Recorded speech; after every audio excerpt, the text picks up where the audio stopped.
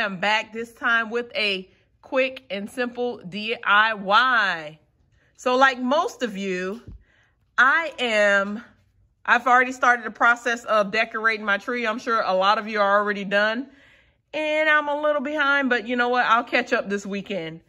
But yeah, so I've already started the process of decorating my tree. And then I'm going to start decorating different areas in my home. So I wanted to jump on really quick and show you guys a quick and simple DIY. So as you can see, the DIY is going to be on this tree collar. So I purchased this tree collar, I'll say about three, four years ago from Walmart, um, 75% off. And when I purchased it, they only had red. So I bought two of them because I knew in the back of my mind, I wanted to change one of them anyway, the color of one of them. So what I want to do in this DIY, I want to show you how you can change the look of this tree collar without altering it permanently. All right. So a simple, easy method and it'll give you a big bang for your buck. All right, guys, let's get started. All right, so before we jump in, don't forget to hit that button, comment, like, and subscribe. Hit that notification bell so you'll be notified when I upload more videos. All right, so the supplies you're gonna need, you're gonna need a pair of scissors, you're gonna need some contact paper. You can pick any contact paper of your liking, of your choosing. And then also make sure you wipe off your tree collar. Um, mine had a bunch of snow from my tree on it, so I went ahead and I wiped that off. All right, so let's get started. All right, so I already started um, sticking the wallpaper onto the tree collar. So what you're gonna do, you're gonna cut it lengthwise. Let me push that back so make sure you can see it. You're gonna cut it lengthwise and then you're gonna make sure you cut enough just so you can adhere it to the back, the top back and the bottom back. And then you just smooth it out to make sure that it sticks. So I'm gonna do another piece on camera. I already cut my pieces the same time. And I suggest that you just cut um, pieces about four to five inches. You don't wanna cut them um, too big. I mean, too big, too small. If you cut them too big, then you're gonna run into the issue when you hit these curves from the collar, you're gonna run into the issue where it's gonna be hard to, to smooth it out. You're gonna get a lot of air bubbles. So you wanna keep it to about three to four inches each piece, okay?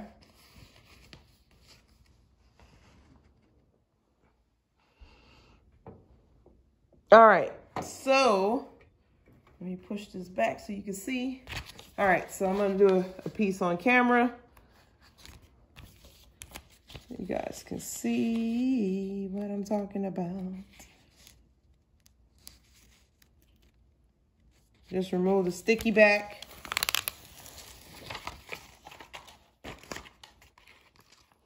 And make sure you have them all going the same direction. You don't necessarily, well, at least this contact paper, you don't necessarily have to have the same pieces. Um, that's what makes this unique. You can just, you know, I find with this pattern, you can, it doesn't necessarily have to match up perfectly. turn it this way. I think I'm gonna put it on this way. All right, so you're gonna, you wanna overlap just slightly the other piece where the other piece started, ended. Oh, hold on. And see, I'm already running to that issue where I was telling you guys. You see how because of the curve right here, it's hard to get the full contact paper on there. So what you, I'll show you what you need to do. So I'm gonna put that over the top. Put that on the seam.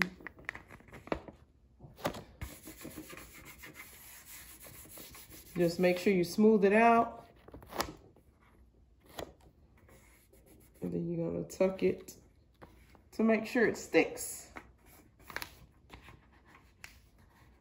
And if you get any lumps, you can just pull it off. If you can't smooth them out, just pull it off and reapply. Just that simple. And try to smooth it out as possible, smooth as possible. Okay, there's that. All right, now, See how I couldn't, because of the curve of the um, collar, I couldn't get that piece. So this is what I've been doing. Let me find a small piece.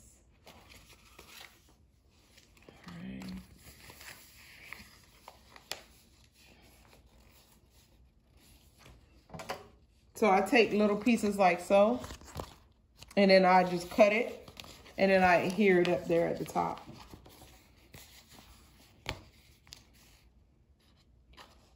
And these pieces don't have to be that big. You just need enough to cover that angle. Put it about right there.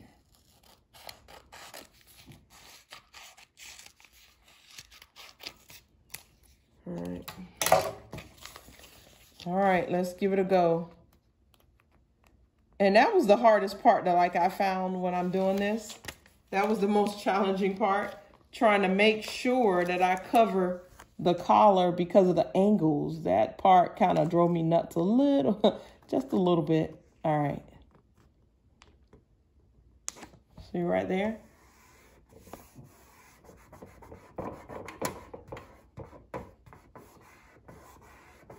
And if you smooth it in good enough, you won't even be able to see that seam. See that?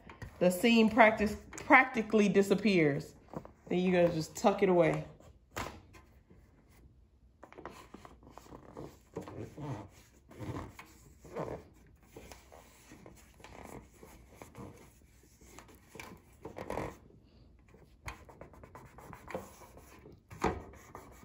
I'm trying to smooth out my little wrinkles I got in there.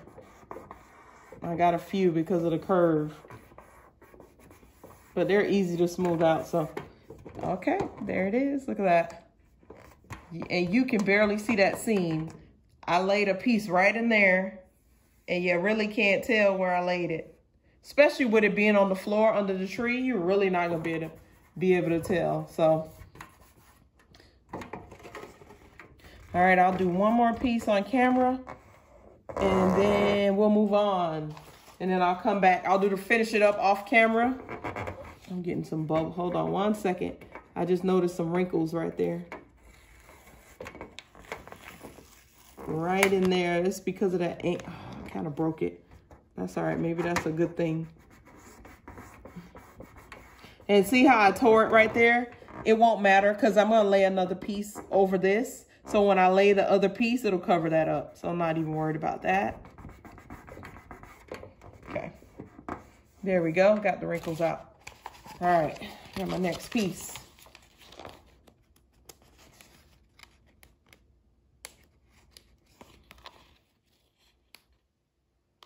I think the hardest part is trying to peel off this darn backing on this contact paper for me. that seems like the hardest part.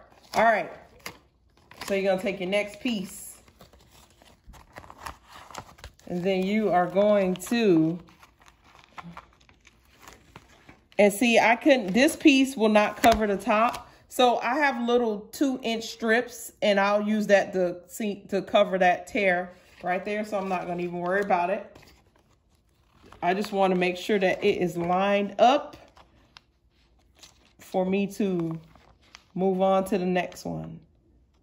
All right, so I am going to angle this because, hold on, that's the hard part. And then it's on camera too, so it's hard to, all right, hold on. Is that enough to tuck under? That might be just enough. I may bring it down just a little bit. So you have to do a lot of trial and error to make sure you get it right. All right, I would say probably about right there should do it for me. Right. Oh.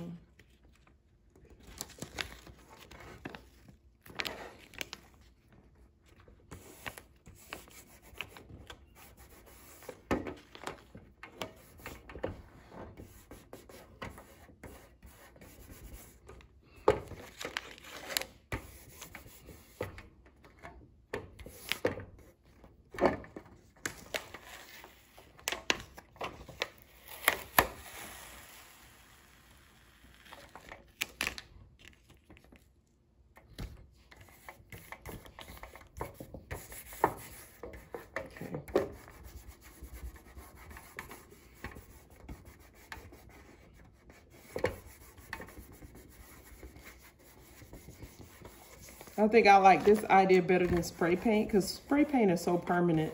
You know, even though you can spray paint it back, it's just so permanent. I'd rather just lay contact paper over it and keep it moving, you know. And don't forget to tuck your edges underneath, like so.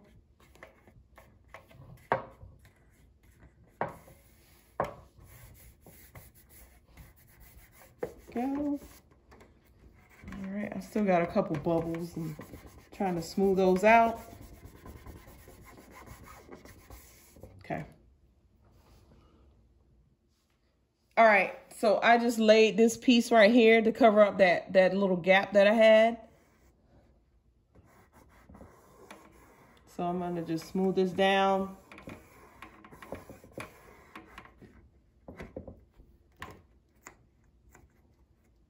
Hold on. wrap it over the back. Like so.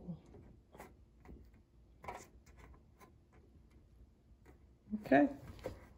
And you can't even tell that I barely, you can barely tell that I added a piece. That's, that's what I love about that. All right, so I'm gonna finish this up off camera and then I'll be back and then I'll show you guys the final reveal.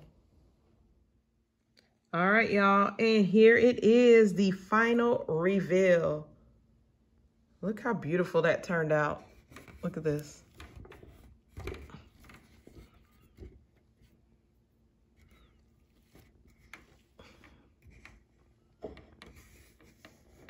All right, so I am going to go put it around the tree so you can see how just how gorgeous this thing is.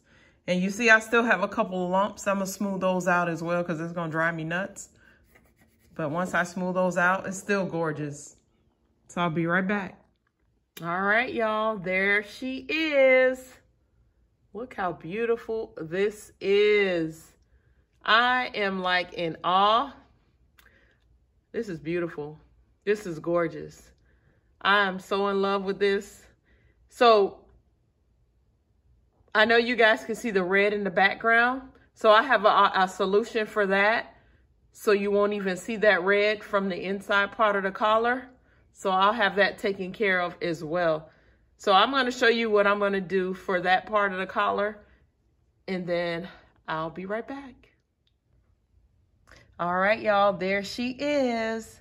Here is the final result of my tree collar that I remade over using contact paper.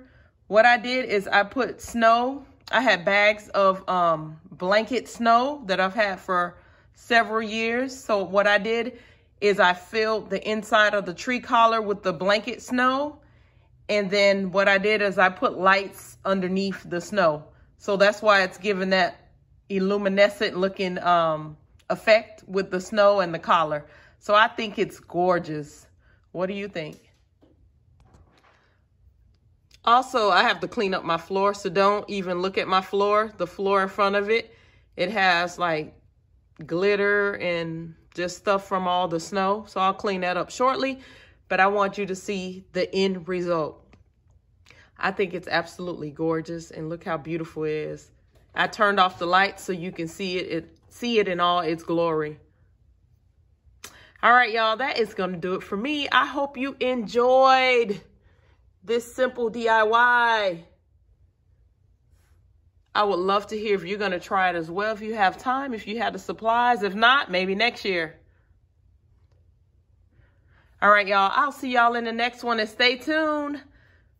I'll be posting my tree once it's done, I should be done this weekend. So hopefully I'll get that video up to you guys shortly. All right. See y'all in the next one. Take care. Bye.